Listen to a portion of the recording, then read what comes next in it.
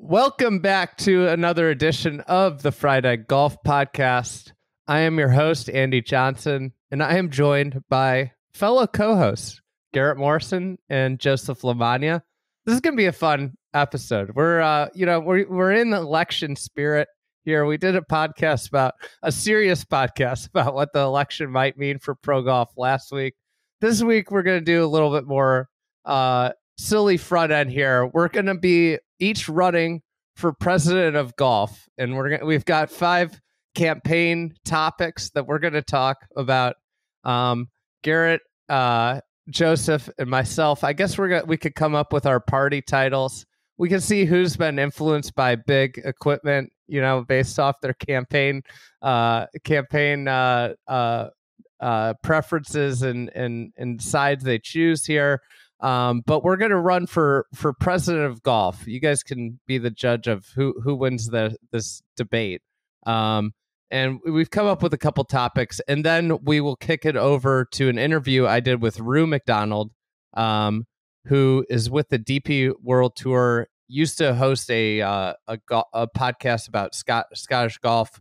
Who came on to talk about the critical juncture in the Coul Links story, which is a potential golf development uh, just north of Royal Dornoch in Scotland, um, which has uh, a, a, a, some important moments in its uh, potential development coming up. So we, we'll kick it over to that on the back end of this episode. But welcome on, Joseph and Garrett. I, I am I'm ex- extremely excited to to share this debate uh, platform with you guys. Well, my question is if we become president, will there be any checks and balances on us? no, no checks and balances. So we're really running for king, king. of golf. yes, king of golf. no, no, no democratic system here. Well, it all depends on who you get in bed with. If you get in bed with, uh, you know, with big equipment or big agronomy, mm. we'll see. We'll see. You know, here are the things. Things are you could be elected, like you could run on something. You could be truly political and waver in the wind, and uh, you know, and know that you'll garner votes if you say, let's let drivers go 500 yards you know well i could just say a bunch of completely unrealistic stuff get elected and then just sell out to the highest bidder immediately. Yes, yes, that has all... never happened in in the United States. By the way, this is this is completely imaginary here. N- nothing of the sort would happen in our country. No, nothing, nothing. This the all all in all, this could be you know it, it could be a week where you know people are are stressed out about the election. This is supposed to be all in fun and good fun and spirits. So we have uh we have five topics. We have men's pro golf, women's pro golf. I'm going to throw a curveball and throw in amateur golf here. Oh. Because I'm going to add one because it doesn't seem right to just address the pro golf game. Um, amateur golf, grow the game initiative. You have we have tasked everybody to come up with one grow the game initiative, equipment, and uh, golf course industry those are the big topics. We'll we'll debate and and propose our our uh, thoughts on each topic, and then uh, maybe we'll have PJ declare a winner at the end. PJ is the one voter. the one voter. He's the so producer. PJ really has all the power here. All right. By the way, P- PJ, unlike on the Shotgun Start podcast, PJ is in the silent booth right now in our uh, recording system, and yeah. so so he he can't say anything, but he gets to vote. Yes, yes, he's in full producer mode, which yeah. does not give him any speaking privileges.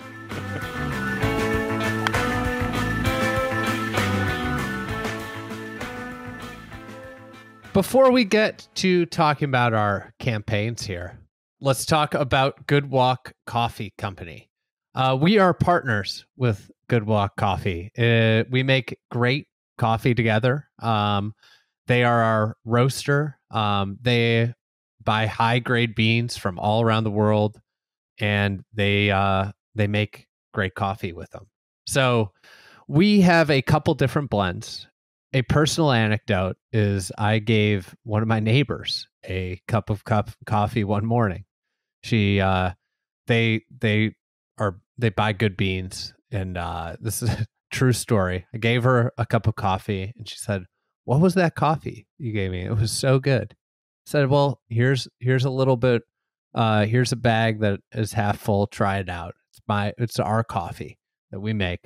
She is now a subscriber to the coffee. So turned her into a subscriber. She was a subscriber of coffee of a very good uh, Bay Area roast com- roastery company. So if you want to become a fried egg coffee subscriber or try out fried egg coffee, um, check us out at goodwalkcoffee.com slash fried egg.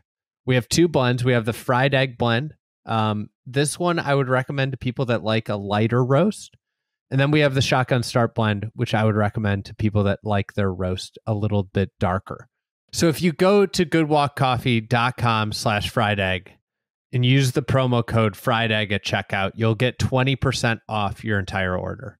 Um, if you want to start a coffee subscription, you get 30% off your first order and then you'll save 10% on all future shipments.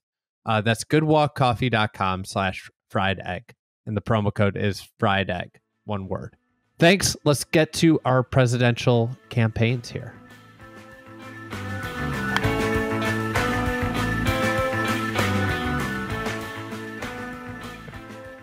Um, all right. So let's kick it off. Let's kick it off with the uh the first topic. We'll start with men's professional golf. Joseph LaMagna, you are up first. Uh, the the way we're talking about this, I kind of wish I, I may have may have taken this exercise too seriously and probably should have pandered well, a lot more. There's time time to switch. I, I know. I, I, might. I have nothing well, written down. I'm I'm speaking third on every topic. Now and that, I'm now that we to... know how voting's done, we know who to pander to. Exactly. pander to PJ. All the variables like, have changed. Champions Tour, affordable public week. courses on Long Island. yeah, exactly. Um, no, my the New York Jets platform. and Mets tie yeah, That's right. Save the New York Jets. yeah. uh, make make make the Yankees trade Juan Soto to the Mets. I'm gonna have to change some things on the fly here. Um, my men's professional golf platform. Jay Monahan's getting fired, but that's not the main thing I'm sticking to. Completely, we're doing away with TIO relief. No TIO relief in any you if it rubs up against a concession stand, if your ball goes up a concession mm-hmm. stand, you can have a one shot penalty. But otherwise, it is on course setup. There's oh, no more sick. TIO relief, no more cart path relief. Players are going to have an absolute uprising, but PJ is going to love it, which is the most important contingency here. And there's the only one sport right now that is actively compromising the field or the court. You don't have cameras getting in the way on an NBA court, interrupting shots. We're doing away with TIO relief completely. Let's restore some consequence back to professional golf. I like that one. You know, I, I shouldn't say that because I'm you running could, against you. You but... could take unplayables. You could yeah. like you if you yeah. don't like what you the only your only option is to take an unplayable. Yes. And one of the options of unplayable, which rarely gets used, is replaying your last shot. Absolutely. And it's a player player run organization, the PGA Tour. If they don't like it, then talk to the PGA Tour setup crew and move the infrastructure around, but no more TIO. Yeah. Lots of potential tin cup situations there. Oh, yeah. if we get if we if somebody reunites the game and you get Patrick Reed there, he could start to say that all the all the ti all the obstructions are on the left side of the golf course. And people are people are yeah. they the players have banded together against me. Every obstruction's on the left side of the golf course. Yeah patrick reed does not like things on the left. All right my proposal for my platform with regard to men's pro golf is to abolish the fedex cup playoffs Get rid of him. We are destroying the FedEx Cup playoffs and we're not looking back. We're going to focus on establishing strong, distinct tournament brands. Make the Tour Championship what it should be one of the three best non majors on the PGA Tour schedule. You can keep it at East Lake. East Lake's fine.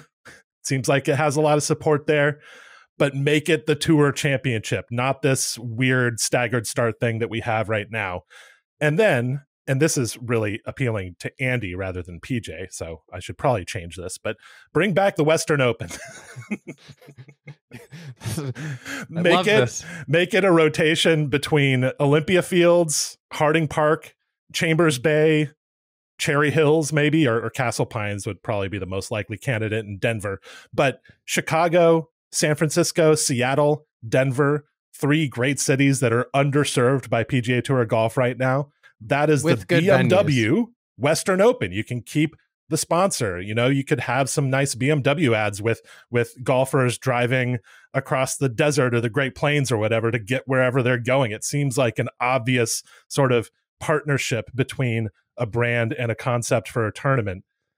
That's my proposal. Focus on creating great tournaments on the PGA Tour schedule. Abandon these notions that you're ever going to generate enthusiasm about a season long race on the PGA Tour. I just don't think it's going to happen. This is not F1. So make those tournaments great. What's valuable in golf is an awesome tournament like the Masters or the US Open or the Open. That's what we should be focusing on. I like the idea of incentivizing each individual tournament to be great on itself. Like the idea yeah. of, oh, nobody's coming to our event. Well, maybe your event sucks. That's why yeah. nobody's coming. Every, so everybody wants to go to the better. Masters. it's not like that came from nowhere. It's yeah, it's an awesome tournament at an awesome course. So it's like, oh, players aren't coming. That's not the PGA Tour's fault. That's your fault. If you put the onus back on that, like you would get fresh ideas, you would get events doing creative stuff to to entice players to come. You might get new formats. You might, you know, like it, there's a way, but you know, the way the PGA Tour is going. What I like about this both the both of the discussed options seem to be the opposite of the way that the tour is running. Yeah. You know, they're trying to get every tournament run by championship management, which is the, basically the death to any soul of of an event. If yeah. you want to if you want to kill the soul of an event, turn it over to championship management. Is that your platform? against abolish champions um, management. So one thought, one thought, I was, I was, there was, uh, there's a large contingent of people, um, a big collect cohort of uh, of of funding sources that was trying to say it was trying to convince me to just say just end men's pro golf, just end it. but I I said no Are no. These the anarchists? I, I said no to that money. Instead, I am uh I'm going to run on the platform of everybody's saying make pro golf smaller, make it a, you know, like make the the top end of the tour really small. I'm going to say just make it really big. Have a thousand eh, have a thousand person tour. Just put the the European tour, the PGA tour, Live Golf, Corn Ferry tour, the Challenge tour, TGL. and PGA Tour Americas all uh, it call it the same tour but have different levels and exempt statuses that you cycle up and down you play for the same points and it's one giant tour that feeds up and down constantly. There's no relegation event. There's relegation events every single week. You're either up you're either down. If you fall out of the top 50 you're out. You know, oh, it, it, we're we're playing a tournament in November. If I'm 45th, I don't get an off season. I got to go play. I got to go grind to keep my status up high. And I think like actually like everybody's like been I this was just a thought this morning. Everybody's been talking about making pro golf smaller. And when you think about the idea of pro golf, like and you think about it, it makes sense off the off the uh, off the bat, yeah, we need a smaller tour. But in reality, most things in golf are completely the opposite of what you think. You know, if you're if you're hitting the ball right, you know, if you're hitting a slice, you swing right. You don't swing left. Like you naturally you think, "Oh, I need to swing left." You know, everything in golf is actually the opposite of what you nat- your natural instinct is to think. So my my platform is going to be make a giant tour and have just playing up and playing down all the time. Would that be the theme of your administration? Just do the opposite of whatever whatever the common sense approach would be. I think there is like with golf, there is a strong. Um, if you did the opposite of what the general public thinks you should do with golf, you would generally be on the right side of history. Andy, have you run this idea of one giant tour by the Department of Justice? I have not. I've not. Well, which Department of Justice? True, true. if I'm if I'm the king, I don't have to worry about this right. Department okay, of Justice. Fair enough, you're fair you're enough. dismantling the Department of Justice. You're you're staffing it with uh with cronies. Yeah. Yeah. Yeah, this right. is uh, Andy's project 2025. Let's move on. I'm gonna I'm gonna pause on the Whitman's golf. I'm gonna throw a wrench. I'm gonna I'm gonna misdirect, go in different order. Garrett, what's your grow the game initiative? My grow the game initiative is to establish a registry of public courses that are historically and or architecturally important and create grants for restoration projects at these courses. Do I know where the money's coming from? No, but since I'm the king, I can just kind of appropriate a, a certain portion of the of the uh, tax funds that uh, that come in, and and uh, that'll that'll be that. But you could tax pro golfers. yeah, that's right. They love being taxed. Um, so create these grants for restoration projects. Maybe establish a panel or something like that of independent history and architecture experts who could determine which courses qualify for these grants but provide these courses some money to do legitimate restoration work. And I believe that that would help grow the game. I don't know. It would make the game better. I don't really like growing the idea of growing the game because usually when people say that, they just mean, I want more money from the game. But uh, I believe this would be good for the game in the sense that one thing we need right now is a greater supply of golf courses. And one place where we can find that is struggling historic courses in urban centers.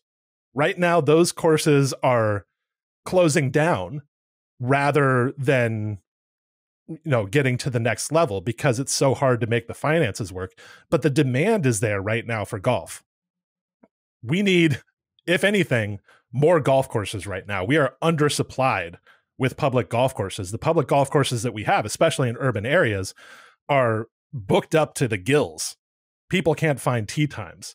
And so we need to preserve the great golf courses that we have in city centers, historic golf courses that have been there for a long time, but just need a little bit of TLC. And that's what this registry and grant system would do. It's almost like uh, farmer subsidies. Yeah, right. Yeah, grow some corn you know, grow some good architecture. We know we know it's not. No, you could make more money growing something else, but grow us corn. yeah, exactly. We need corn. We, we know you good we golden age you, architecture. We know you can sell your golf course to private equity and turn it po- private, we or or you- turn it into a mixed use uh, residential development. Not to make this too serious right now, but I just heard recently that a great old course in the Philadelphia area, I believe, JC Melrose. Yeah. Do you know about this place? Yeah, Maxwell, the Maxwell course. It's closing down. I saw that. It's done. It's being redeveloped. And the fact that that is happening right now when there's so much demand for golf is a problem. And it's something that we need to address urgently, or else the game is going to wither on the vine. We need a supply of golf courses and we need a financial system that that allows those golf courses to exist and be affordable and be affordable and be good. Joseph, what's your grow the game initiative? Uh, not too dissimilar, Garrett. I like your idea. I want to reimagine the way that public golf courses are booked. It's a problem specifically in Austin where I live, but I think it's a problem. Huge problem in LA too. Yeah, yeah. The there LA was a No Laying Up site. podcast about this uh, about LA specifically recently, um, put together by Kevin Van Valkenburg. Yeah. yeah. So, like you're saying, Garrett, there is high demand right now and often not enough supply. At certain golf courses, like the way it works in Austin, people have to line up at certain hours to get a tee time, which really only allows certain people, like a lot of retirees, to get those tee times. I think there should be a solution where people who want to play golf have some level of access. It might not be like a, a perfect priority order where everyone's getting an equal booking time, but I think there we could do a little bit. We can make some strides on getting people who are interested in playing golf out onto the golf course. I'm interested in looking at dynamic pricing. I think it's sometimes crazy how tee times that are $60 all the time go unused and then nobody's using them when they could pay, I don't know, $24, $28. I know that there's some pushback on dynamic pricing, but I want to explore it. I'm going to take solutions. We're, we're going to solicit solutions from the smartest minds. I don't have a full plan to lay out here, but I want to completely reimagine the way that public golf is booked in, in this country and potentially in the world. If this solution works, we'll take it worldwide.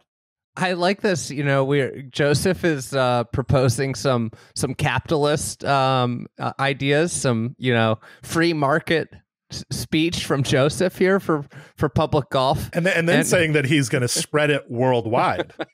I haven't heard this global, before. The idea of, of, spreading democracy worldwide. It I'm not like talking about idea. spreading democracy. Oh, I mean, we, on, we should, we should pursue this, and if it if they don't accept it, then we should go to war with them. This is you, this is being misconstrued. I just didn't want to leave out all of our friends across the globe who get mad when we're too American centric. I wanted to offer the solution. I'm agreeing Meanwhile, with you, Garrett, Joseph. Garrett's, Garrett's talking about subsidies. yeah, exactly. I'm I'm, I'm all about big government. government clearly, programs yeah. I'm just I'm going to grow the government so much. I'm not growing the game. I'm growing the government. All right, I uh I guess mine mine what I want to propose for grow the game, I think kids clubs should be free. Here's the thing. Kids clubs are good for like a year. Your kid grows all the time. So you go into the golf shop, you you sign out a set, and then you bring it back a year later and you get the new set. There's yeah. no reason that people should have to pay, pay to get these golf clubs. Like this is should, a good one. Yeah. So it should be free because like you by the time you buy them and you out you outgrow them in like a, a, a year or two. So make these golf sets like you, you go in, you sign out. If you don't bring it back, you don't get the next size up. Um and yeah, sure, like is this going to cost a little bit of money? Absolutely. But this is a way to actually get golf clubs in people's hands. Like have you have you tried has your kid tried golf? Oh no, I heard it's super expensive. Well, actually, kids get free clubs if they go and they you can go pick them up here. Like there's nothing special about kids clothes. You uh, kids clubs. You don't need like big time tech in them. You don't need a- anything like that. And the thing about it is like there's great programs like Youth on Course that offer affordable golf for kids.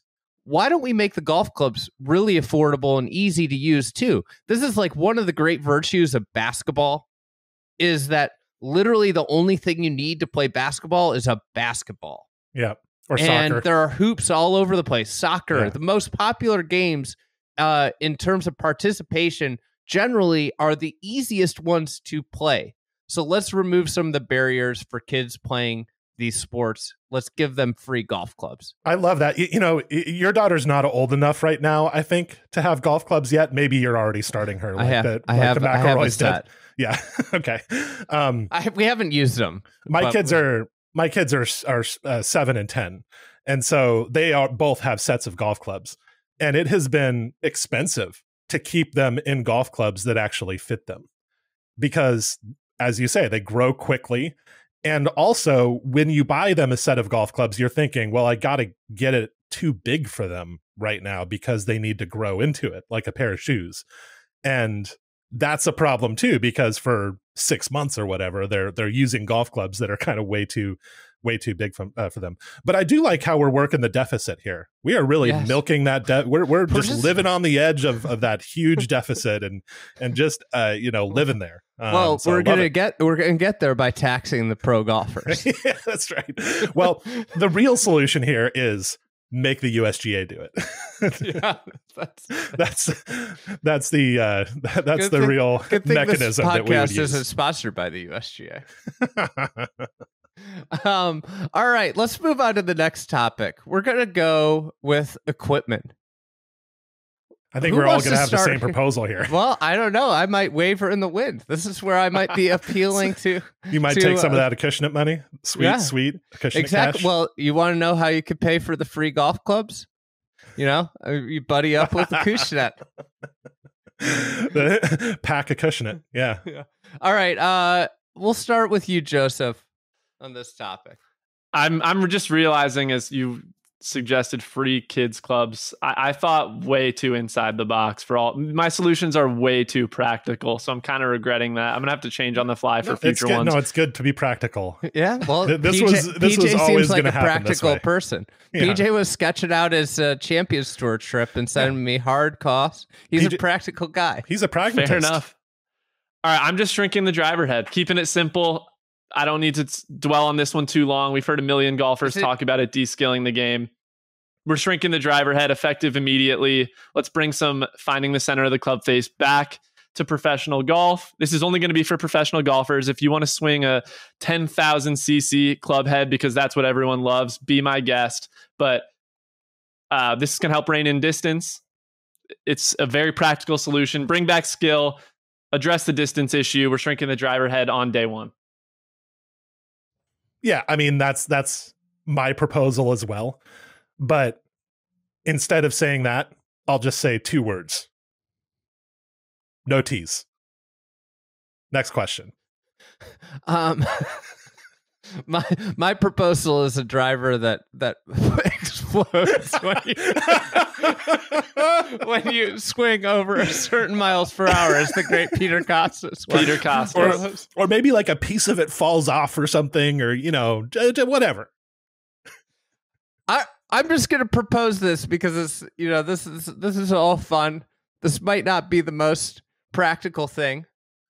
One of the great things about persimmon heads was that you had like people like pro golfers would use the same driver for 20 years. So again, in the nature of like removing barriers to entry into the sport, like cost is one of the biggest ones. And when you had the best players in the world using a 20 year old driver or 10 year old driver, that's a good message. That means you don't have to go spend $800 or $1,000 every year to get the new tech. So my my proposal, let's go back to persimmon. Have there be modest, you know, innovation. You could you like I remember I have a I have a set of uh, Ben Hogan woods that I shipped away to Roberto Castro that had like this little cut in the side of the head that was like a speed slot. You know, that like the idea was to increase the aerodynamics. But like persimmon, like you can't hollow out persimmon. You can't like it's just a solid block of wood. And the thing about it is like once you find a driver you like, you just use it. That's your driver. And and I think that's fine. Like that's kind of the way I treat drivers in general. Is once I find a driver I like, I usually use it until it cracks and then I move on to the next one. The great thing about persimmon is that it won't crack in six years or seven years. It'll it will just be good for 25 years. I never have to buy a new driver. So go back to to persimmon heads for woods, and you would immediately reduce the cost of the sport. Like once again, like my platform is like how do we increase participation and reduce the cost of the game really in general and uh and and that's where I'm going to be on persimmon driver heads. And guess what? It's more fun to hit a persimmon driver head. I can't tell you how many times I go places with either my hickories or my retro clubs and say we play through a group or a group plays through us, whatever it may be. Everybody in the group's like, oh my God, is that a persimmon driver? Is that a hickory driver? And I say, oh, do you want to try and hit it? And they're like, oh, absolutely and then they hear the sound of it and they're like oh my god that was amazing. It was way easier to hit than i thought it was people i think like one of the things that the uh, that the equipment companies have done and this is where i'm going to lose my my Acushnet funding um, for the free kids clubs. I think they've hoodwinked people into thinking that persimmons are like this impossible thing to hit. Well the the crazy thing is that you and i andy are old enough to remember watching people play persimmon drivers for real. Yeah. Like when I started like playing golf, handicaps. my dad still hit a persimmon driver. My dad is not a professional golfer. He just liked the club hmm. and he had fun playing golf. I dare say he had more fun playing golf than most people who play golf today. And so the game was fun 40, 50 years ago. It's just expectations that have gotten in the way. And you know what's cool? Is watching Shohei Ohtani swing a wooden bat. It just That's wouldn't right. be as cool to see him do what he does with a metal bat. And sorry for bringing up traumatic things, uh, PJ. Probably the underrated part of that too is the impact it could have on pace of play by mm. hitting the ball a little bit shorter. Not everyone going for 500 yard, 520 yard par fives at public golf courses. Like we'd probably see an increase in pace of play. The other thing is dispersion patterns are are less because the ball doesn't go as far. So it doesn't go as far offline, less time looking for golf balls. Something that's already gotten lost in the equipment discussion is the whole point in the first place, which was to try to control the expanding footprint of everyday golf courses. That's what the governing bodies were really putting research into was finding out what those dynamics were, not just at tour golf courses, but at the golf courses we play every day. And they did find that those courses are being stressed by the realities of, of distance gains at every level of the game. So this is not just a professional golf issue. But we're agreeing too much here. I, I feel like people don't have enough of a reason, or PJ doesn't have enough. of we haven't we haven't swerved off yet. Uh, yeah. We haven't. Nobody's nobody's made a, a you know crazy claim that you know clearly some sort of big industry titan has gotten to him. I'm, i mean, I'm i did say no that, tease. No I'm not sure which industry would encourage that. Just, I think you're pandering to to random Twitter responders that always yeah, suggest that. I am. That's, that's such a Twitter thing to say no tease. um, let's go to women's professional golf. Uh, what is your what is your your um platform here? What is your opinion? Where where's where do we need to go? Who's going? Go ahead, Garrett. Joseph. Go ahead, Garrett. Okay. I got to go last on all of them. Well, you're you're because you, you get to you get to bat cleanup here. Yeah. Yeah. Um.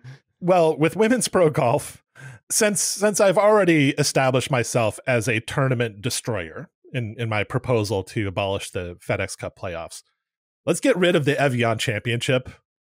You know, it can still exist, but it's not a major. And let's give an ultimatum to Chevron and say, if you don't take this tournament to a worthy golf course, we're taking away your major status too. We'll go with three majors for the time being and see if a fourth emerges somewhere along the way. But right now, these are not majors. Nobody feels like they're majors. It's just a big charade. We're told they're majors, but we know in our souls that the Evian Championship and the Chevron Championship are not major championship golf in the way that the US Women's Open is, and the way that the Women's PGA Championship is, and in the way that the Women's Open clearly is. So that's something that really needs to be fixed because if one thing absolutely has to work in a professional golf structure, it's the major championships. That's the one thing that men's pro golf is doing right right now. It's the one thing that's going well at on that side of the game. The majors are still the majors and are still great the women's game needs to get its act together with these five majors, two of which are really not majors. That's some big dictator energy right there, Garrett. That's say, that's hey, like yeah, Evian, go tell Chevron what I did to you. That's I'm just just heavy-handed. yeah. Uh, my proposal is a women's golf app that televises or broadcasts, streams all of their tournaments. No, we're gonna blow up all of our existing network deals and just go straight to a streaming service that is similar to like the WNBA League Pass. And maybe we or still have a couple. LIV Golf Plus. Uh, it's going to be LPGA Tour Plus, and I don't. It no longer are people going to have to worry about where you can watch it if it's going to be tape delayed. I don't care if five thousand people are watching it or five million, but we're going to have an app specifically dedicated for it. And if there is this infusion of fan interest into women's golf, I don't know how popular women's golf will be five years from now, but it's going to be set up and ready to capture that fan interest if it arrives. That is my platform, uh, LPGA Tour Plus. All right, I like that idea. It's, and and the and the advantage of it is that uh, LPGA Tour Commissioner Molly Marcoux Samaan can say, well, yes, our ratings aren't that good, but there are millions of people watching on the app. Transparent reporting too. Actually, could you partner with caffeine? Not anymore. Not anymore. Revive Caffeine TV could get some big deals in Australia and, and Spain with uh, streaming services. Um, I I am going to propose that we beef up the LPGA Tour media team. Um, I of all like there are a lot of things that I would like to address about the LPGA Tour. Course collection, uh, course selection would be my sec- my secondary platform. Yeah, that ske- schedule is a mess. Can you I believe would, how bad the schedule is? It's a bad schedule, like, but like at the end of the day, they're showing they're they're not doing themselves any favors. Like I never go on like the the the Twitter or the Instagram and see like you know tons of great shots being played. Like and and I think like a lot of this is just like resource allocation. You know, like I would be dumping money into making our sport more visible. And right now, the best way to free to you know effectively, uh, cost effectively increase your visibility is through social media. And I think their social media pages are leave a lot to be desired. And I think it's probably in a lot of ways just about not having enough people. So I would maybe look at, hey, could we reallocate $100,000 here, $100,000 here, and maybe double our our media team um uh amount of people and the resources they have so that we can put our sport out in front of people as much as possible so we can garner viral moments like I think like a lot of probably like great moments happen on the LPGA that could be Sports Center top 10 moments, but they just don't tell anybody that they happened. That we don't we don't know what happened because like a lot of times they are never it's never show it's either shown on tape delay as Joseph uh put uh, uh, suggested or it's never clipped into social media or never was televised in the first part. So like my big thing would be all be about visibility. Let's get our product out there as much as possible on these free potentially viral channels in order to garner more fan interest. I could be with that. I mean, the PGA Tour's media team now has its own palace, it sounds hmm. like. I wouldn't do a deal where we we rented office space in there. It's kind of like their their TV rights deal where they get to just exactly tack like on, tack on. That could yeah. be another platform. Like, let's not align ourselves with the PGA Tour. that could be like yeah. the this another platform. We're gonna do every everything the PGA Tour is doing. We're gonna do the complete opposite, and you probably have a really good tour. Absolutely. I, I, think that's the the real opportunity for the LPGA Tour right now is to define itself in opposition to the PGA Tour. That's an open lane, and I think it could be pretty fruitful. And I think they do it to a certain extent with like the players. The players are so friendly.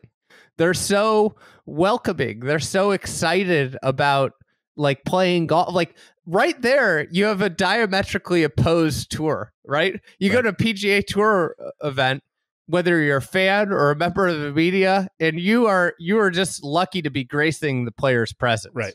You know like yeah. you're just lucky lucky that you might get to see to walk past one of them the lpga it's like hey how are you doing? And you're eh, I, as a media member you're like wait what why are you asking me how i'm doing? It is almost a little bit confusing. But yeah, the the live LPGA Tour experience is is fantastic, and maybe that's another thing that could be built out a little bit because going to LPGA Tour events is super fun, but I'm not sure that people talk about that that much, or or that the events locally are are are really gaining traction in the way that they should. Um, I think um, that I think they have just like a a messaging issue in yeah. general about their product and what it is and how it is. Uh, like they just they just in general do not they I don't think they have the resources to properly expose people to what their product is. It's bizarre too because if there's one thing that money is being spent on right now, it is women's sports. Yeah. Right. Those sponsorships should not necessarily, I'm not saying that it's as big of money as like the NFL is getting from the TV networks, obviously. But those sponsorships are are not that hard to come by. And for some reason, the LPGA Tour right now is shedding sponsors rather than picking up sponsors. It sounds like Cognizant is maybe out. So there's something odd going on with the leadership of the LPGA Tour. I'm not sure what it is, but it feels oddly low energy at the moment. All right, final final platform uh or you know topic that we're going to bat around here. The golf course industry. This this includes architecture, this includes agronomy. It's just all about golf courses. Garrett's already already crowbarred this topic into grow the game. That's true. He might have taken my platform here, but I've I'm going to come up with a different one. I so might have Joseph, initially had that one for golf course industry, but not been able to come up with anything for grow the game, and and maybe moved it. Joseph, what's your your uh, initiative here? Yeah, I mine is for some central repository database. I would love to have all golf courses, but if it's just municipal golf courses, that that's fine. If it's municipal public, that's great. But I want to store all of the original drawings of a golf course with the architect's an explanation for the architect's vision for the golf course so that years down the line we're not looking back trying to scrape together drawings and understand if the architect who's hired due to do the renovation is betraying the original vision. I want it all documented somewhere in one central source. If someone's hired to do a project on a municipal course.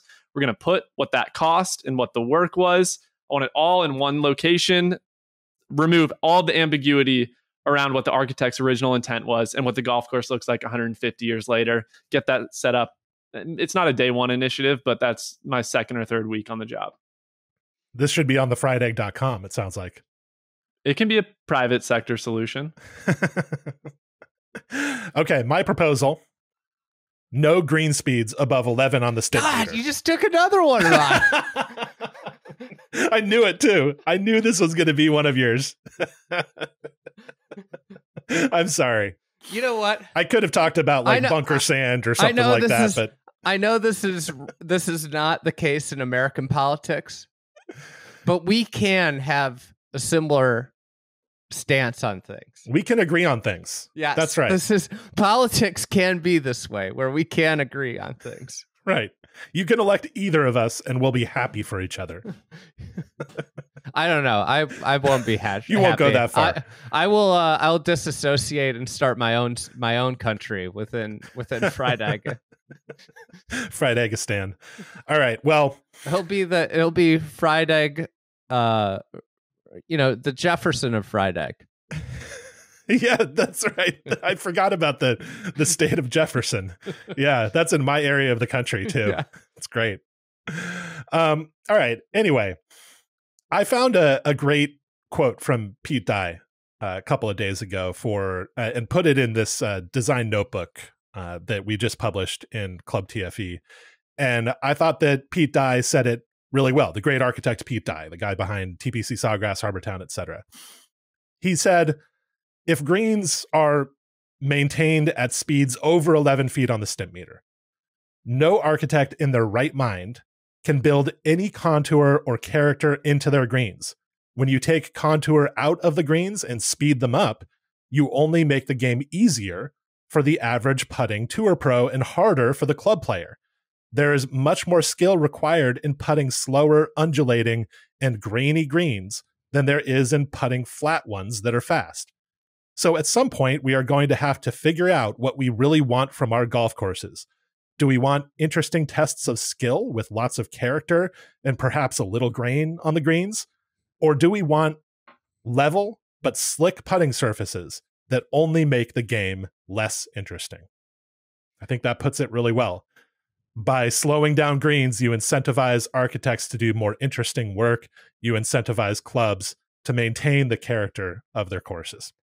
I think like the the uh, the fascinating thing about this quote was is the start of it where he talks about you know how it makes it easier for the average player and harder for the good player. Yeah. You know, like that it's so that, eh true too, right? If you want a tour pro to make a bunch of putts, give them a flat, smooth, fast, fast green. green. They're yeah. just going to make everything from everywhere. Everything from everywhere. Meanwhile, when you slow it down, like what's the talking point uh, at every Open Championship? Oh, they they're just struggling to get the speeds right. You know why? Because they actually have to worry about the, a ball getting to the hole. They have to like the idea of a ball coming up short is a realm of possibility, right? So speed control actually becomes like a big thing. And I think like people get upset because like some people just lay it dead constantly over and over again. You know what that is? That's someone with supreme speed control being rewarded. You know, somebody that hits the center of the putter face over and over again being rewarded. We saw perhaps Scottie Scheffler's worst putting performance this year at the Open Championship. He was awful on putts of like six feet, eight feet. And one thing that popped in my mind is like, oh, he actually has to hit the putt solid for the ball to stay on the line and go in the hole. I I had one of my worst putting rounds of the year at a course uh, called Wolf River Golf Park. Um, they were perhaps the best greens that I putted on all year in terms of what we're talking about now. They were rock hard, so firm, and they rolled at about a nine, maybe a 10. And I was, uh, when I had a wedge in my hand, I was like terrified about like thinking about like, I need to land this 92 yards. And if I land at 94, I'm probably going to miss this section of the green that I need to get this wedge into. But then when I got on the green, if I had six feet and the putt and the and you know a lot of the cups were on you know slopes, I was really I I was struggling that day with my stroke, was not hitting putts solidly, and I was missing everything. And I think about like that day as like, oh, I putted probably the worst I putted all year that day.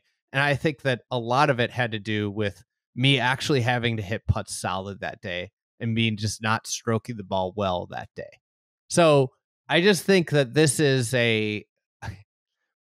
It's just such a. It, it's such an easy way to bring. We're always trying to bring skill gap together. This is a great way to bring skill gap together. PJ, I'm going to run slightly on the opposite. I- am going to push back in that I do not think speed in and of itself is the culprit. A small green that's super fast, yes, you can't do something interesting with it, but big greens can be fast. The, like the the point I want to push back on Garrett and Andy is being short sighted has to be a penalty.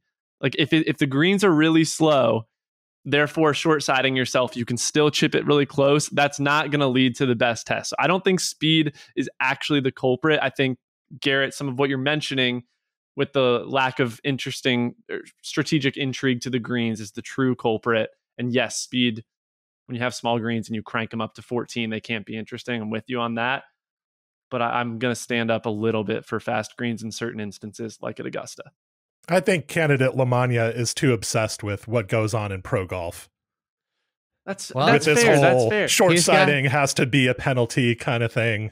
You can this is a you pro golf short take. Yes, you can say yeah. What if you we can say short sighting is, is you can say short sighting yourself should be can be it can be a penalty uh, due to architectural factors too, right? Yes, if you yes. have slower greens and can actually build some tilt into them, that's and, the key. Yes, and pin them on the tilt, then then you have kind of the same. I'm with effect. you on that.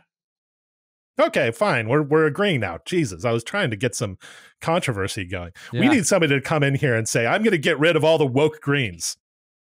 That's we should have brought in a uh, party that was going to be diametrically opposed to the to the others. I think uh, I think one, one of the main Griffin? one of the main exponents of that philosophy has disappeared from from the internet. So uh, weren't weren't able to weren't able to manage it this time. Well, he, the, their identity could not not be confirmed or denied either. So, um, all right, PJ, who's who's your vote? Who's your vote for for winner? PJ is going to have to sign it.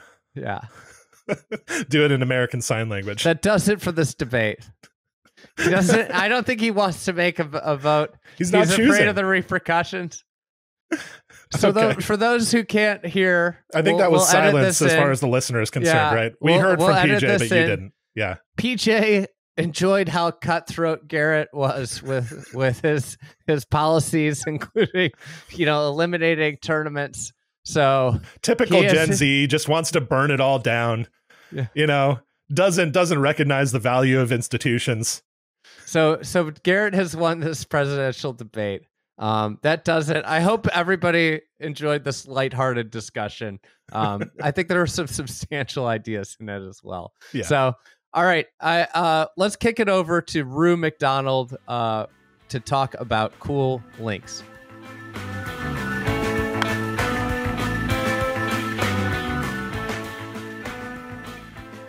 All right, before we get to Ru Macdonald and Coul Links, let's talk about our partner Stripe. Uh, Stripe and us have worked together for a really long time. They are one of our first uh, business products that we used. They've helped us really collect money for years, and they've never given us a headache. Um, the great thing about Stripe, the impressive thing about Stripe, is that they can work for us, a tiny business at the time we installed Stripe uh, into our website that allowed us to accept payments. It can work for us. It also works for massive, massive companies such as Alaska Airlines, Hertz, uh, Postmates. I mean, Postmates, you talk about Postmates, they're making, they're probably millions of transactions a day. Toyota, Zoom. Um, so they, they work with so many companies and they have so many different products. Like one of the great things about their product is they accept tons of payment methods, which helps reduce like the amount of abandoned carts you have. Um, they also have a billing uh, product that works uh, if you have like complex billing. If it's usage based billing, um, a subscription, for example, we use it for a subscription. Uh, it works really, really well. So uh, I would, if you were going to want to check out Stripe, if you want to use Stripe, if you want to learn more about Stripe, go to stripe.com. Thanks to Stripe. Now back to Ru Macdonald and Coul Links.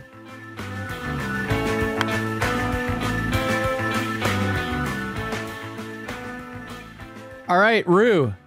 I uh, I'm excited to talk about Coul Links. Um, this is a development in northern Scotland, uh, the Highlands. Um, tell us a little bit about the history of Coul Links, um, the land, you know, kind of how it's come to be as this somewhat I, I don't know if this is the right word, but embroiled uh, topic in in northern Scotland.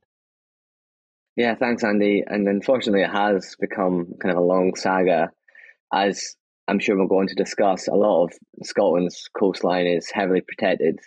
And this is probably one of the last genuine, incredible sites on uh, in Scotland that could be developed for Scottish golf. I think the future of Scottish links golf and, and developments uh, into Scotland will be purchasing existing golf courses, but this would be a new golf course just two miles north of Dornoch.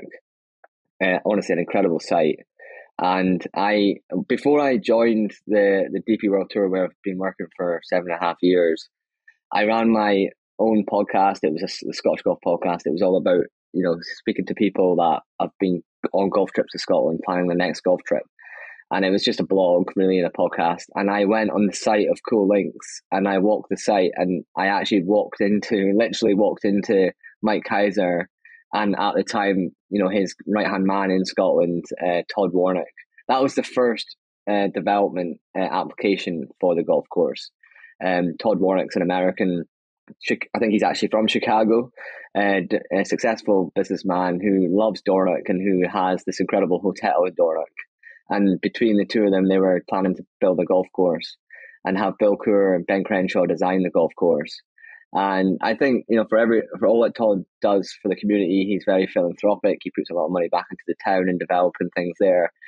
Um, for whatever reason, the, the locals didn't take to another American coming into Dornoch and, and trying to do something. And that, uh, a lot of pushback. It went through the courts, and the courts you know, despite public opinion being in favour of the golf course and the local council approving the application, it was eventually rejected on environmental grounds. Um, so that's the short answer. That's where we are. There's there's been a new project. Uh, locals came together. They they didn't want to turn away the opportunity to have a golf course there. So the locals got together. Communities for Coul.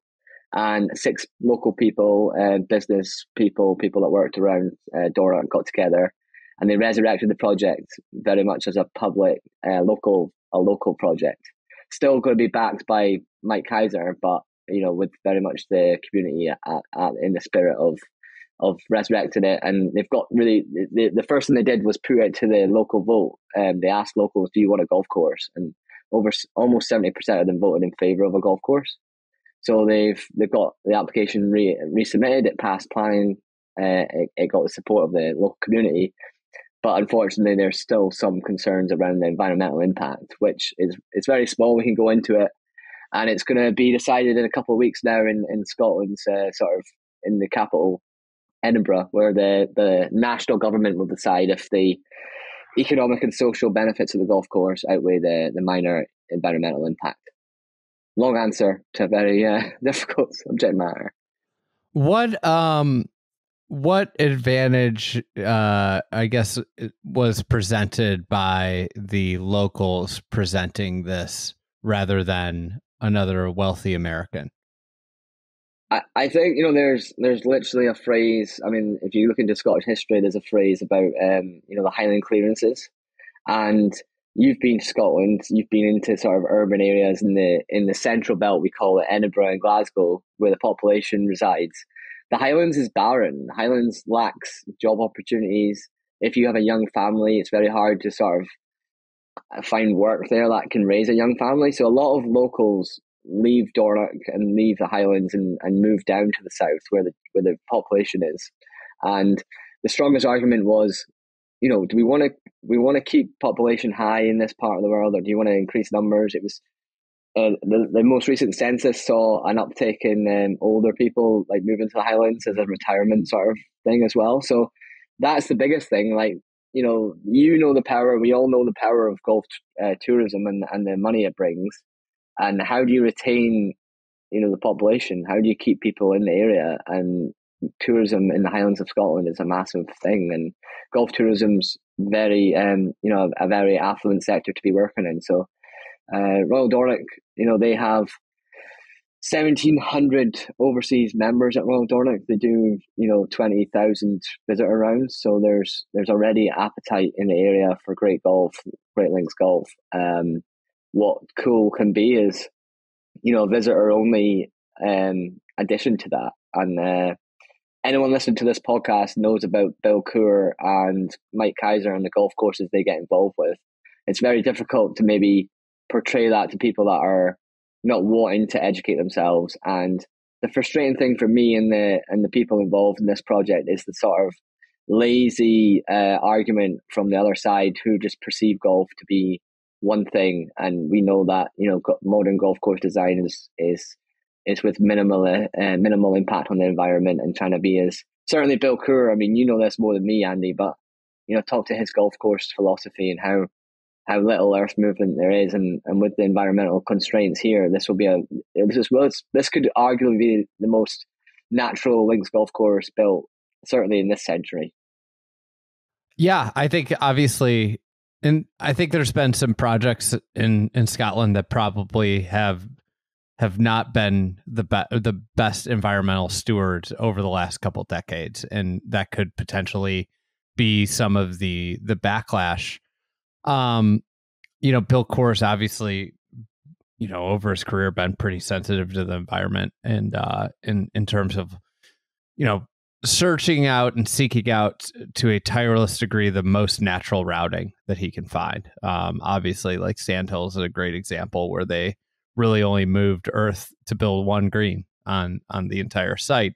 Um, I guess you know in terms of of Scotland, what do you think uh, Coul Links would do to elevate the general area, the Highlands, um, as you spoke about? You know, in terms of economic impact, a it's an area where most of the people that live there move away um, to work somewhere else, and then it sounds like come back to it later in life when they are done working. What type of um, impact would Coul Links have to the to to the Highlands as a as a golf tourism market? Yeah, and it's such an important uh, question in this whole argument. I think I, you know, this is not a jibe at you, but the you know the Americans perceive the Highlands to be, you know, everything from Aberdeen to Dornoch, and it's such a long area. Like if I was to drive from Aberdeen to Dornoch, it's going to take me three and a half hours on some interesting roads. When I met Mike Keiser and Todd Warnock that day, and I was invited in to have a drink with them and discuss the project, I actually asked Mike Keiser, as, as somebody who loves Scottish golf tourism, is is you know, are your successful resorts at, at Bandon Dunes good for Scottish golf tourism, or is it taking people away? Are you going to Bandon Dunes and you know thinking about you know having your golf fix? And you know, his answer is very much like if people play Bandon Dunes, they'll be inspired to come to Scotland. Um, it's almost like a flavour of it. And he, he told me that day that when he when he thought about creating Bandon Dunes, he he thinks of his time at Dornoch and the busloads of people arriving there and then leaving. And that is unfortunately the scenario that, that Dornoch faces. People driving these minibuses. And I, I heard today people that nobody's taking a self drive shift stick now in, in, in Scotland, despite the you know the rumours. And ninety five percent of some of these golf travel agents are, are sending people on golf uh, buses and being driven around the country. Uh, but that's another point. Um, unfortunately, uh, Dornoch's like a, a day a day visit, and it genuinely means people show up there in the morning, playing their golf, which is one of the best golf courses in the world, and I'm sure one day we can enjoy that privilege together, Andy. But they, they then get on the bus and they, they drive off. They drive off to, to, to Inverness, perhaps. You know, Cabot Highlands, which is, um, you know, formerly Castle Stewart, is one of my favourite places and it's great, but it's a long way away. It's over an hour's drive uh, from Dornoch and the the economic impact of the golfer isn't really felt in the town. And Dornoch's one of these great towns. You've we were we were lucky enough to be at the um, the Open in St Andrews in 2022, and you get a sense of what a great golf town is. You were obviously recently in North Berwick and Gullane, and they're great golf towns, and Dornoch's another one. And uh, I would really you know, I really believe that the an addition to uh, to that area of another top 100 links golf course in the world would turn that into a destination, really. And unfortunately, those people that that get to Dornoch at the moment and get off the bus and back on the bus don't make time to go visit Brora. And Brora is famous for having the livestock roam the course and the Highland cows and the sheep that maintain the fairway, just like golf used to be in, in the 1900s and it's one of the best golf experiences anyone can experience. And a lot of Americans don't experience it, and they, you know, they're visiting Dornoch, and it's only 35, 40 minutes away. So that that is the impact that an additional golf course could have. It really would transform the area into a destination.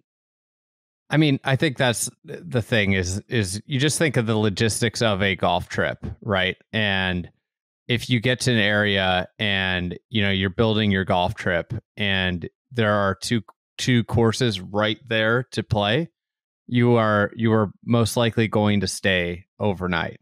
Um, and I think the addition of a of a Coul Links would do that for Dornoch, especially like the way these things go. I I have heard very few, and I think like maybe this should be considered more often when people go to Scotland is like playing a golf course a second time.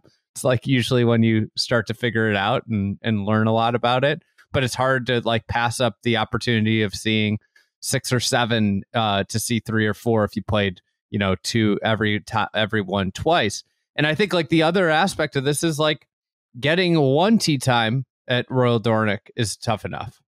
Um, getting two doesn't you know that doesn't work for the um, economics of the town when you can only get one uh, tee time, right? Like there's there's more at play than just you know hey, people just aren't staying. It's like they don't have a reason to stay.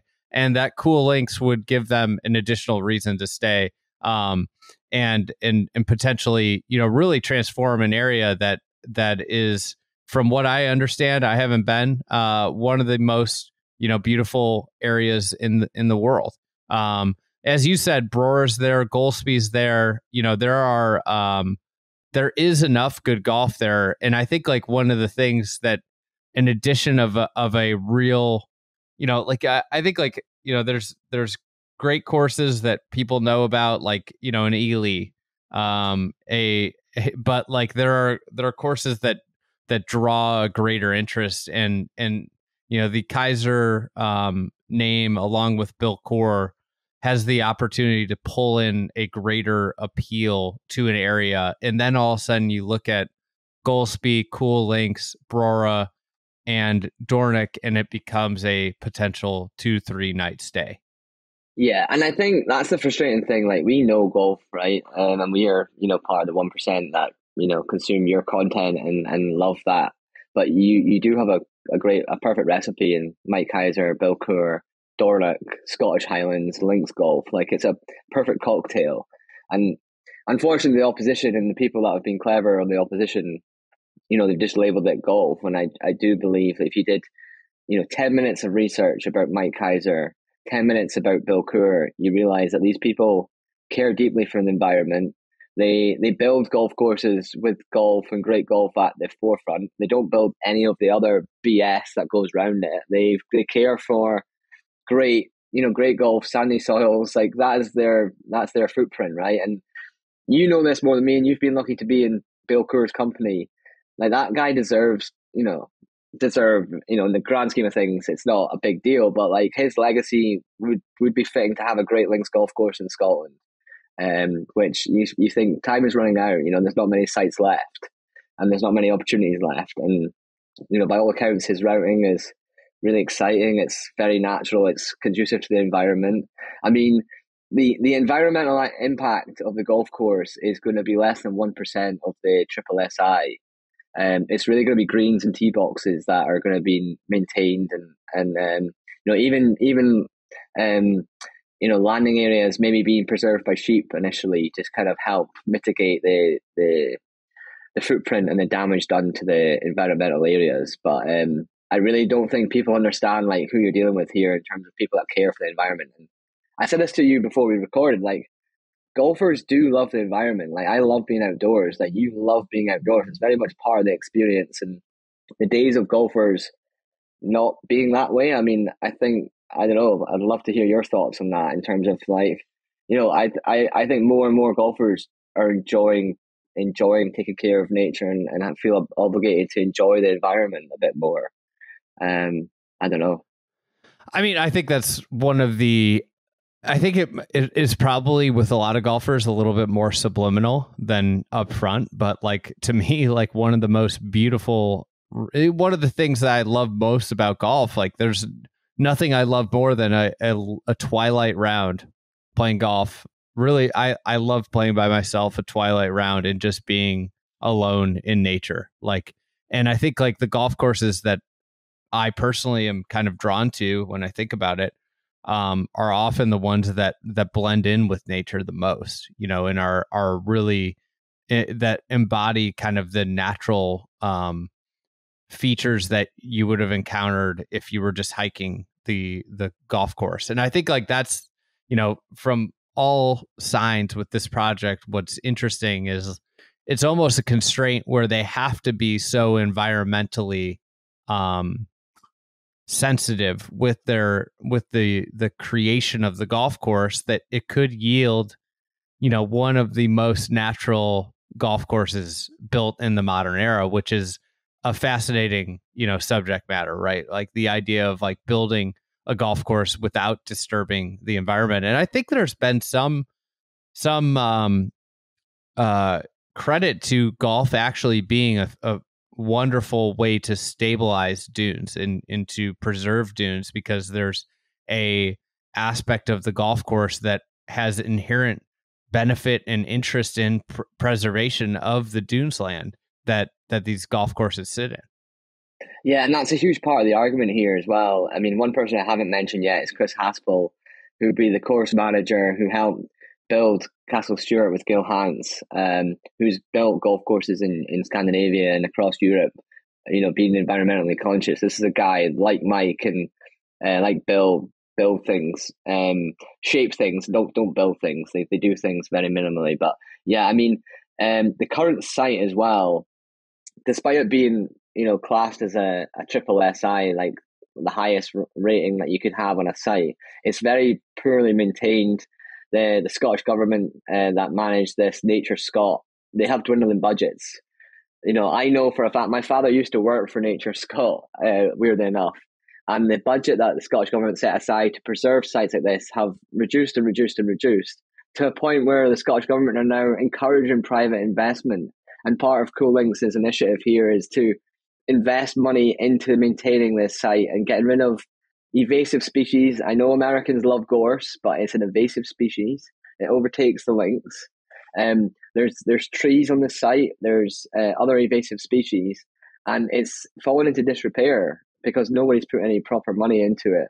And the the Coul Links plan has, you know, investment into that. It has investment into public walking paths. The great thing about Scotland, as you know, Andy, having been the right to roam now, the right to roam everywhere is public. And and this this is it. Like it's not going to be a gated community. This is they've got a beautiful beach as it is. You can go on any beach in Scotland and it's public, and they they're encouraging that. They're encouraging wildflowers and all that to thrive. So if if it gets approved, there's a hearing in a couple of weeks' time. It has the potential to be special. It has the potential to be inclusive, and that's what I love about Scotland is how inclusive Scottish golf is. And um, yeah, here's hoping because we know the people involved, you know, care deeply, and you know, Bill Coore thing. I, I you've spoken to him. I've actually watched your content and, and Bill talking about this. Bill looks for these landmarks on the site and figures out ways to play around it and and not interfere with it. I mean, make them make them part of the the player experience, but don't ruin them. That they're they're they're interested subject matters, and I don't think the opposition and people that look at golf negatively understand that kind of philosophy, which is super frustrating. Yeah, yeah. I um what in terms of uh if if this passes, what would be the potential timeline for uh playing golf there? I, I think it's quite quite quick. I mean, Chris Haspell would be the guy who we need to answer, but I mean, the plans are there.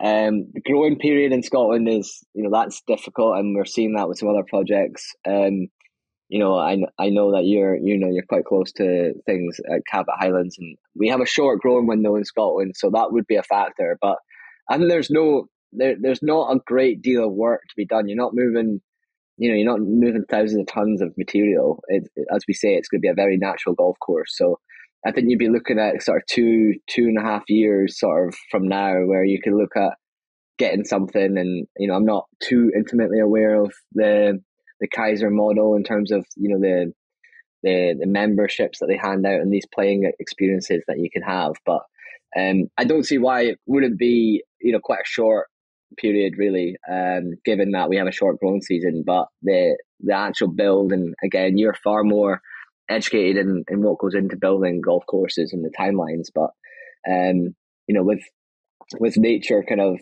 not being interrupted too much, I don't see why it would take too long. Um, another thing to add there is is also the fact that you know we mentioned these other golf courses. Two that we didn't mention were Skibo, um, which is kind of a, a links course there. It's a little bit it's sort of limited play, but it's it's a links course, beautiful setting. The home of Madonna's um, famous marriage to Guy Ritchie, um, but that's not that for that um, put you off. Um, and then the, the, the news last week that Dornoch's second golf course, the Struie, is going under some significant um, course improvements. So a lot of people don't realize that Dornoch's got a second golf course, but they do. It's not on the greatest pieces of land, uh, but they've purchased new land and they have plans to improve that golf course. So um, I can't tell you how, how much you know investment and, and opportunity there is here in Scotland. I, I don't think there's ever been greater demand for people to come to Scotland, and and that's another case in this argument is to say, well, does Scotland need another golf course? That's the opposition saying that. And again, me and you know that, you know, it's not any golf course. It's a Bill Coore, Mike Keiser golf course. Um, and it's a links course on incredible land. And I think Dumbarnie here in in um, in St Andrews, you know, opened up three years ago, um, part of the Troon Golf portfolio, and they're already seeing like huge numbers of golfers, and they've only been open three years. So mm-hmm. there's a mm-hmm. huge demand for golf travel, as as you know, Andy, and um, I, I don't see any scenario where this doesn't become an overnight success. Seems like everywhere is sold out. So it's uh, you know, I think I think like the big thing is it's probably the portion of Scotland that's the least trafficked, the least discovered, and it's a you know, it even opens up, it presents an opportunity for a reason for a trip if Dornoch isn't part of your itinerary. um, which is you know I think that that's the thing that you know you know C- Castle stewart or Cabot Highlands is going to attract a lot more uh, visitors than in the future or than in the past, and getting people to just venture a little bit further north would be would be a huge win for the the greater area. So uh, we will follow this this story as it uh, as it happens. Uh, Ru, thank you for coming on and uh, and and giving us the insights into what's going on with Coul Links. Cheers, Andy. Thanks.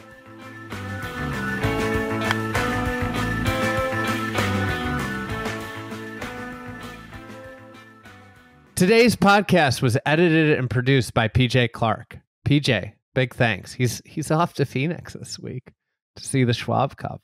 It's going to be fun. Thank you guys for listening. We'll be back later this week with uh, I think we're into a new another golf architecture focused uh, podcast. So we'll be back later this week and uh, talk to you soon.